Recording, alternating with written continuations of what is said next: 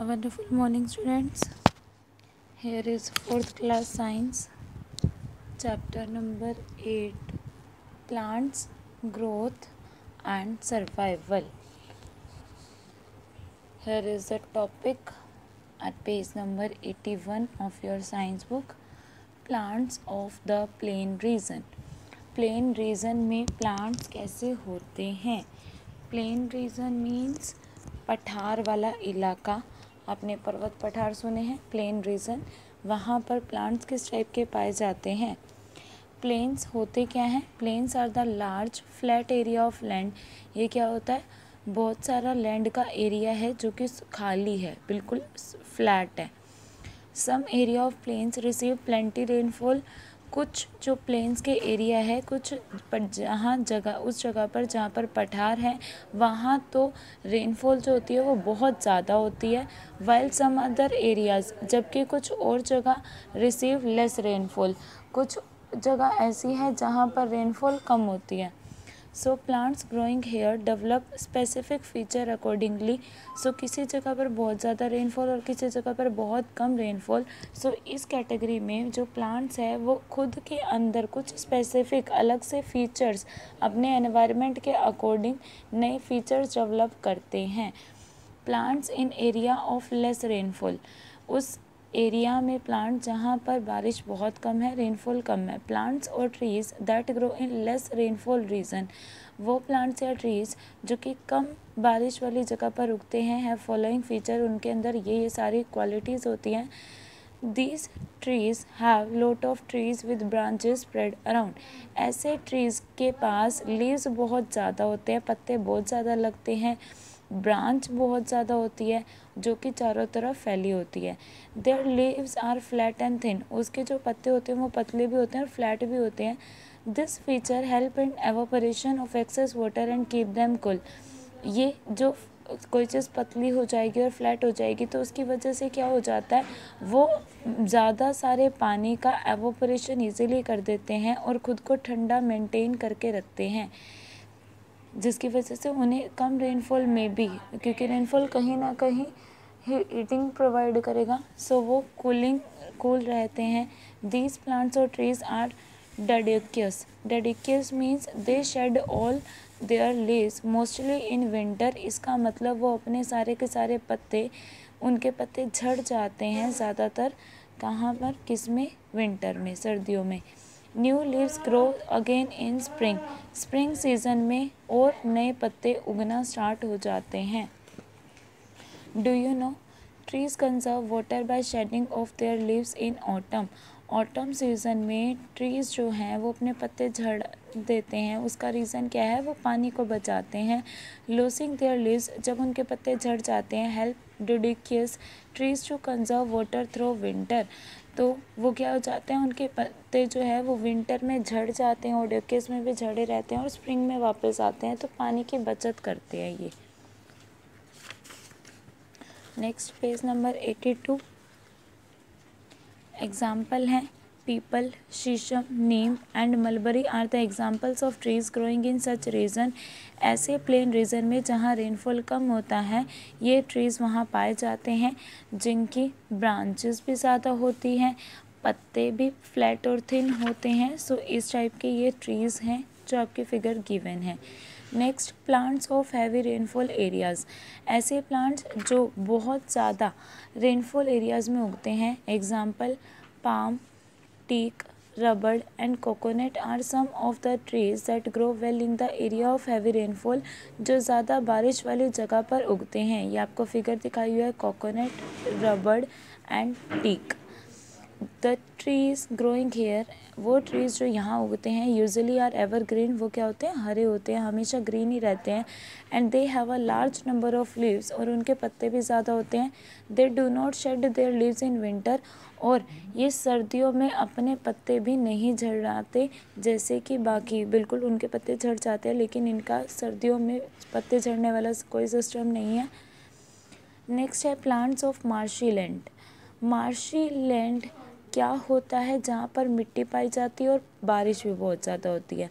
सो so, plants जो marshy land पर उगते हैं marshy areas have clay soil marshy areas में क्ले सोयल होती है और प्लेंटी ऑफ़ वाटर बहुत सारा पानी भी होता है। Water can not be drained पानी को आप सुखा नहीं उसको कहीं और नहीं पास आउट करवा सकते। थ्रो दिस सॉइली सॉइल से एंड गेट कलेक्टेड और उसको इकट्ठा नहीं कर सकते। Plants growing in such areas ऐसे एरियाज़ में प्लांट जो ग्रो करते हैं आर कॉल्ड मैंग्रोव्स उनको मैंग्रोव्स कहा जाता है. The roots of these plants grow above the ground ऐसे प्लांट्स के जो रूट्स हैं, वो ग्राउंड के ऊपर ग्रो करते हैं.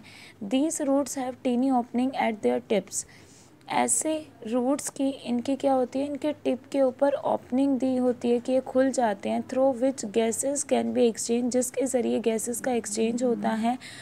प्लांट्स कार्बन डाइऑक्साइड ले लेते हैं ऑक्सीजन रिलीज़ करते हैं during photosynthesis process such roots are called ऐसे रूट्स को क्या कहा जाता है? जो खुल जाते हैं और गैसेस का एक्सचेंज करते हैं एरियल या फिर breathing roots aerial word actual में ऑक्सीजन से रिलेटेड होता है और यानी ये ब्रीथिंग प्रोसेस गैसेस एक्सचेंज करने का मतलब ब्रीथिंग प्रोसेस है तो इसीलिए इन रूट्स का नेम क्या है? ब्रीथिंग रूट्स जैसे मैंग्रोव की स्ट्रक्चर आपको यहाँ पर शो की गई है, इस टाइप से इसके लीव्स होते हैं।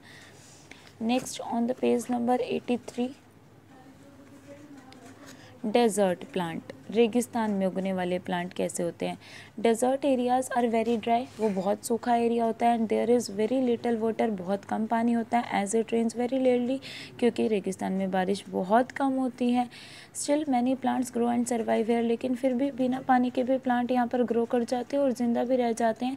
These plants are adapted to survive in little water ऐसे प्लांट्स अपने आप को अडेप्ट करके रखते हैं, ढल कर रखते हैं कि वो कम पानी में भी सरवाइव कर जाते हैं एंड हार्श वेदर और चाहे कितना ही हार्श वेदर क्यों ना हो, कि वेदर उसके अकॉर्डिंग ना भी हो कंडीशन कैसी भी हो डेजर्ट की वो सरवाइव कर जाते हैं। दे डेवलप फॉलोइंग फीचर्स इनके अंदर क्या क्या फ़ीचर्स होते हैं क्या क्या फ़ीचर्स ये अपने आप में डेवलप करते हैं।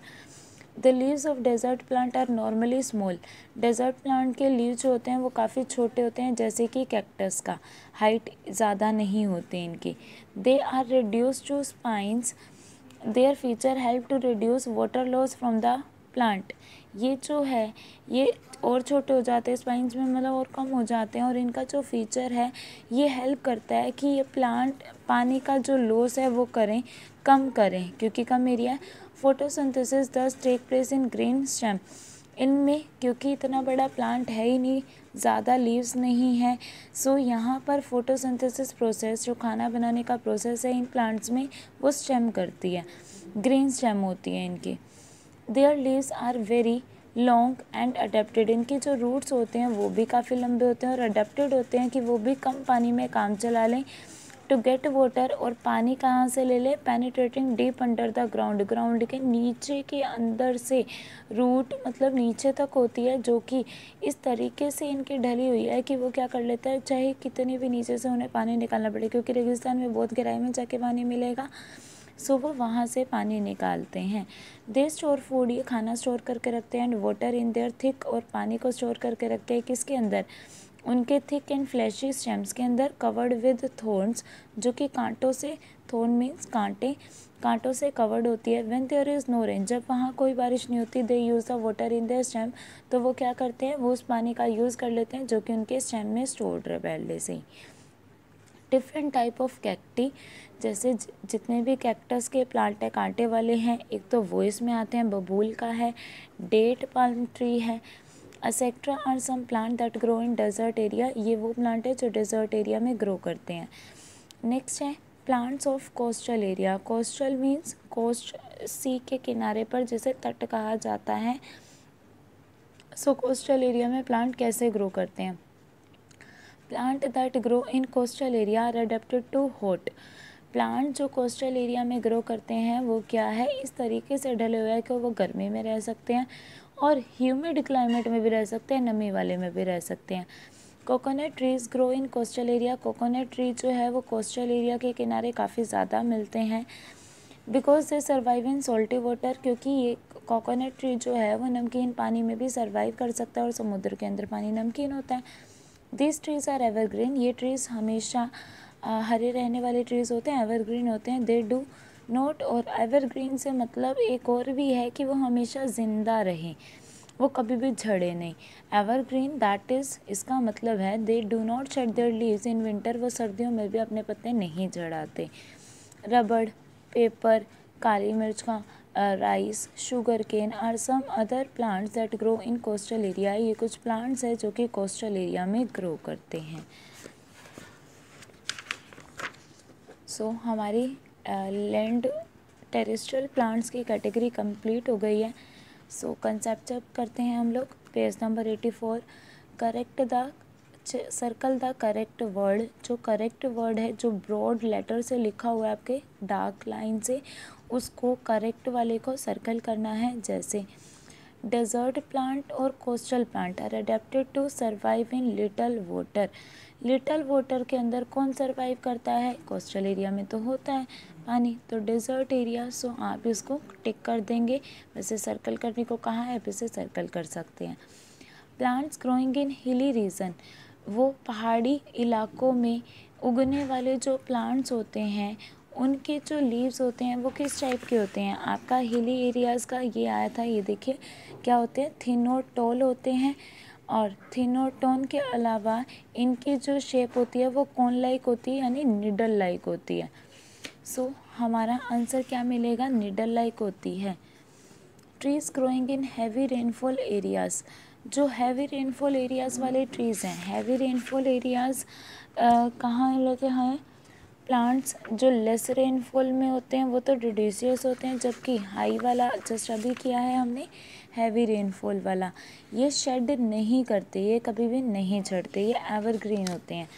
सो so, ये क्या है? Evergreen coastal plants are adapted to survive coastal plant क्या करते हैं? समुद्र के किनारे रहते हैं, इसीलिए वो नमकीन पानी में भी सर्वाइव कर सकते हैं।